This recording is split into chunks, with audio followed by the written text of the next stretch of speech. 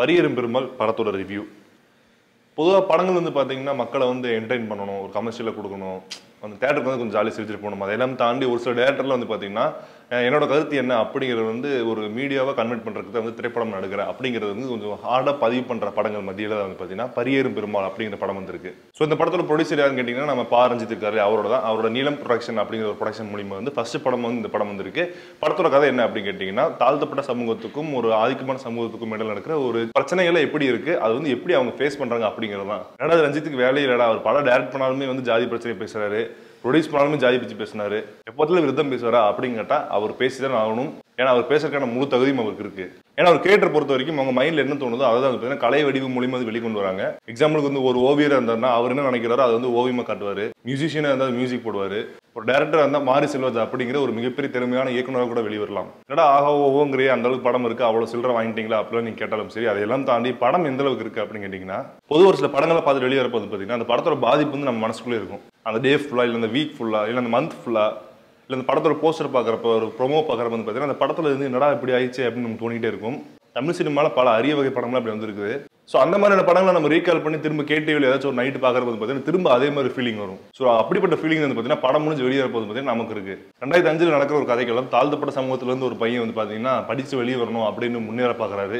அதிகார வர்க்கத்தில் இருக்கிற ஒரு சமூகம் வந்து பார்த்தீங்கன்னா அவங்க வந்து என்னென்ன பண்ணிட்டு இருக்கிறாங்க தாழ்த்தப்பட்ட சமூகத்தோட ஒரு பையன் வந்து அவங்க வீட்டு பொண்ணுகிட்ட பேசினா அவங்க என்ன பண்ணுறாங்க ப்ளஸ் அது அந்த பையனை எப்படி பாதிக்குது அந்த பையன் வந்து அது எப்படி எதிர்க்கிறான் அப்படிங்கிறது ஒரு அழகான ஒரு கதையாக மட்டுமே இல்லாமல் படம் பார்க்குறப்ப நமக்கே வந்து பார்த்தீங்கன்னா அழுக வச்சு ஓங்கி பலர்னு அரைஞ்சு இந்த மாதிரி நடக்குதுல நீங்க தான் கேட்கணும் அப்படின்னு நம்மளே கேள்வி கேட்க வச்சு ஒரு மாதிரி ரியாலிட்டியும் சொல்லுவாங்க. ஆனா அந்த ரியாலிட்டியும் தாண்டி நம்மளே இந்த படத்தோட கதையோட ஒன்றி போற மாதிரி இருக்கு. ஏன்னா அங்க வந்து பார்த்தீங்கன்னா ஹீரோ அடி வாங்குறப்ப வந்து நமக்கு அவமானமா இருக்கு. ஹீரோ ஒருத்த வந்து பார்த்தீங்கன்னா தரையுறவா பேசுறப்ப வந்து பார்த்தீங்கன்னா நமக்கு கோவம் வருது. ஸோ இப்படி படம் ஃபுல்லா வந்து பார்த்தீங்கன்னா எங்கெங்கெல்லாம் வந்து கேப் கிடைக்குதோ பாரஞ்சித் அவர்கள் இருக்கு இல்லையா? அவரை விட பல மடங்கு மாரி செல்வராஜ் டேரக்டாவே வந்து பேசியிருக்காரு. எதனால அப்படின்னு கேட்டீங்கன்னா மாரி செல்வராஜ் போன்ற எழுத்தாளர்கள் வந்து பார்த்தீங்கன்னா ஒரு கதை எழுதுறப்ப வந்து அந்த கதையை வந்து வெறும் கதையை மட்டும் எழுதாம ஒவ்வொரு லைன்லயுமே வந்து அவர் என்ன சொல்ல நினைக்கிறாரோ அதை வந்து பார்த்தீங்கன்னா ஒரு பாதிப்பா வந்து அனுபவிச்சு எழுதுறாங்க. ஸோ அந்த பாதிப்பு வந்து பார்த்தீங்கன்னா கதையோட மட்டுமே இல்லாம அது ஸ்க்ரீனில் கொண்டு வரக்கு தனித்திறமை வேணும். ஸோ அந்த வகையில் டேரக்டர் ராம் இருக்கார்ல அவரோட அசிஸ்டன்ட் வந்து பார்த்தீங்கன்னா மாரி செல்வராஜ் வந்து டேரக்டர் ராமுக்கு வந்து ஒரு மிகப்பெரிய பெருமை சேர்த்திருக்காரு. படத்தில் முக்கியமான விஷயம் வந்து பல இடத்துல இருக்குது. எதை சொல்லணும்னு தெரியல. அது நீங்கள் படம் பார்க்குறப்ப வந்து பார்த்தீங்கன்னா உங்களுக்கு வந்து ரொம்ப எக்ஸைட்டிங்காக இருக்கும். முக்கியமாக வந்து பார்த்தீங்கன்னா ஹீரோ வந்து அவங்க பிரின்சிபால் கூட பேசுகிற சீனு ஹீரோட அப்பா எப்படிப்பட்ட கேரக்டர் அப்படி வெளியே தெரிஞ்சவொடனே அதுக்கு ஹீரோ எப்படி ரியாக்ட் பண்ணுறாரு அப்படிங்கிற சீனு ப்ளஸ் பார்த்தீங்கன்னா கருப்பி அப்படிங்கிற ஒரு பாடல் இடம்பெற்றிருக்கு படத்தில். அதை நீங்கள் பார்த்துருப்பீங்க. அந்த பாட்டில் கருப்பி அப்படிங்கிற நாய் வந்து இறந்து போயிடும். அது திரும்ப படத்தில் வந்து எந்த இடத்துல வருது? அது என்னவா வருது? ஹீரோக்கு அது எப்படி ஹெல்ப் பண்ணுது? அப்போ கூட வரும்போது பார்த்தீங்கன்னா நாய் ப்ளூ கலர்ல தான் வருது. ஆணவ கொலை பத்தி பேசுறது தனித் குடியரசுத் தலைவர் வந்து இறந்துட்டாரு அப்படின்னு சொல்றது. இப்படி படத்துல வந்து பார்த்தீங்கன்னா ஒவ்வொரு சின்ன சின்ன இடத்துலயுமே வந்து பார்த்தீங்கன்னா குறியீடா வந்து டேரக்டர் வந்து சொல்ல வந்துகிட்டே தான் இருக்கிறாரு. அது படம் பார்க்குறப்ப ஃப்ளோவாக பார்க்குறப்ப வந்து பார்த்தீங்கன்னா நிறைய இடத்துல நடக்கும் நம்ம பார்க்குறப்பலாம் நமக்கு தெரியும். கடைசியில் படமா முடிச்சு வெளியே வரப்போ வந்து பார்த்தீங்கன்னா நமக்கு என்ன தோணுது அப்படின்னு கேட்டிங்கன்னா கடைசியில் ஒரு ஷார்ட் வந்து சூப்பராக முடிச்சிருப்பாங்க. ஸோ இதெல்லாம் தாண்டி படத்துல கன்க்ளூஷனாக வந்து என்ன சொல்ல வராங்க அப்படின்னு கேட்டிங்கன்னா பல படங்கள் மாதிரி வந்து சோகமாக முடிச்சாங்களா அப்படிலாம் கேட்டால் அதெல்லாம் இல்லை. கடைசியில் சிம்பிளாக வந்து டைலாக்லேயே முடிச்சிட்டாங்க.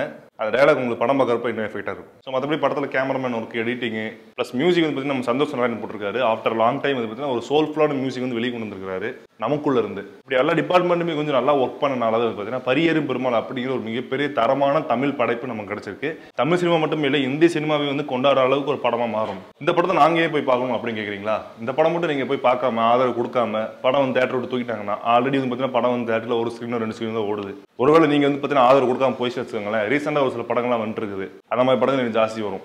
ஸோ இந்த படத்தை நீங்கள் தயவு செஞ்சு கண்டிப்பாக போய் பார்க்கணும். இந்த படத்துக்கு ஆதரவு கொடுக்கணும். அப்போதான் வந்து பார்த்தீங்கன்னா எண்ட் ஆஃப் டே அந்த படம் சம்பாதிக்கும். அது மூலியமாக எங்களுக்கு என்ன லாபம் அப்படின்னு கேட்குறீங்களா இந்த மாதிரி படங்கள்லாம் சம்பாதிச்சாதான் இந்த மாதிரி நல்ல டேரக்டர்ஸ் வந்து பார்த்தீங்கன்னா திரும்ப படம் பண்ண ஆரம்பிப்பாங்க. இல்லைன்னா இந்த படத்துக்கு வீட்டாக்ஸ் ரேட்டிங் பார்த்தீங்கன்னா four point two five out of five இந்த படம் நீங்கள் பார்த்துருந்தீங்கன்னா உங்களோட கருத்து என்ன அப்படிங்கிறத கீழே கம்பஸ் பண்ணுங்க. அது மட்டும் இல்லாமல் பாரஞ்சித் அவர்கள் வந்து பார்த்தீங்கன்னா இந்த மாதிரி பல படங்கள் வந்து தயாரிக்கும் செய்யணும் இயக்கணும் செய்யணும். சமுதாயத்தில் ஒரு மாற்றம் கொண்டு வர அனைவரும் இணைந்திருவோம்.